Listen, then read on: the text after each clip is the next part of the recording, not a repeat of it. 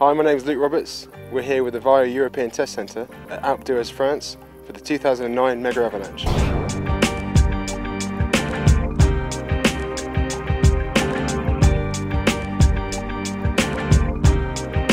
The Mega Avalanche in Alpe d'Huez starts uh, very high because it's on a glacier called Pic Blanc. It's at 3,300 meters and they start on the snow. This year, almost 2,000 riders. It's a massive start and uh, it's for amateurs and professionals. Every year we have more and more people.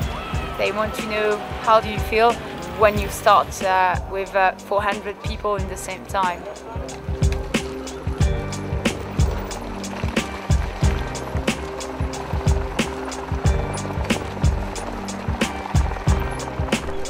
Holy shit.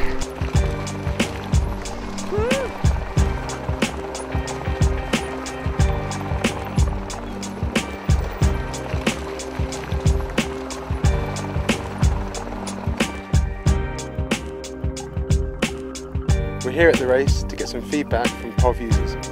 Stop la pauvre.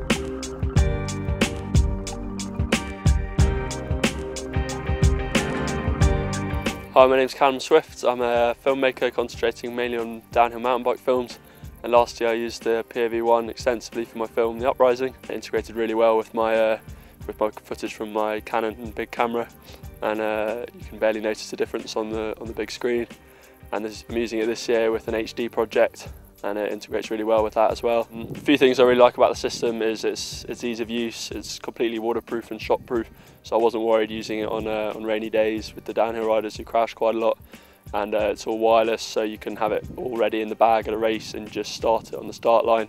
For me, the best thing about the POV system is uh, the mountings that come with it and the large variety of things you can use. Because I used uh, handlebar mounts pointing backwards at the rider, helmet mounts pointing forwards, pointing backwards, um, all sorts of different options which give different views on the bike itself, looking at the, the wheel, and it gives a large variety of creative control over, over the project. Another great benefit is having the screen there so you can set the camera up and then instantly check whether the alignment's right or not and whether you're pointing in where you want to be pointing. Um, and that's just really handy so you don't waste, uh, waste filming opportunities by having it aligned on.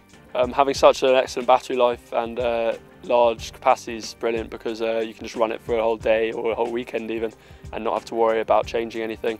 Um, which means you can just feel free to, to do the filming rather than, than faffing with the, uh, with the setup. Uh, I find with a lot of helmet cams out there, uh, they're quite obtrusive and uh, they stick out far from the helmet and the, the rider really notices that they've got it on.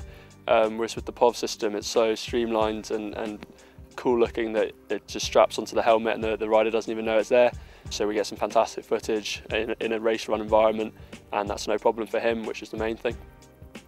I was impressed, um, yeah, with the ease of use. Uh, it's pretty tough. Uh, I did drop it, and uh, yeah, it survived that. Uh, we've been hammering around on mountain bikes all day, and it's yeah, it's coped with that. Yeah, I was just looking at using it for a number of different sports, and if it survives a day in these mountains biking, it should manage most of the other sports I'm aiming to try. It's kind of a hobby of mine is, is filming, and um, I do basically windsurfing, kayaking, and biking are kind of my main sports. And um, I've, I've been looking for a, you know, a head cam of sorts for some time now, and I haven't come across one of this image quality yet. Um, that's also got long battery life and, and sort of can take a lot of footage as well.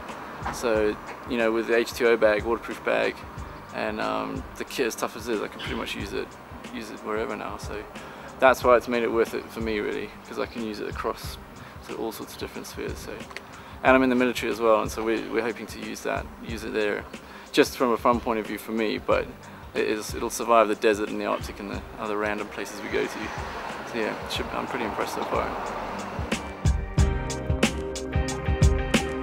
The quality is unbelievable. So before that we worked with uh, very cheap cameras on the helmet and uh, it was the first time today I saw you and uh, I, I, had a little bit confidence in you. So I bought it and it's unbelievable.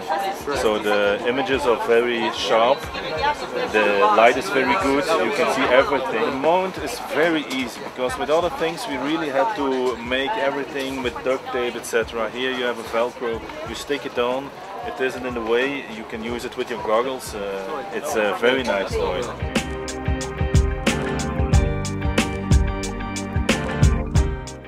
Started using the POV a lot last uh, winter as a ski instructor, found it's really good for, for client feedback. And I've been using it uh, here at the Mega in Alpe and I really like how tough the system is. My favourite mount is the goggle mount, nice and simple.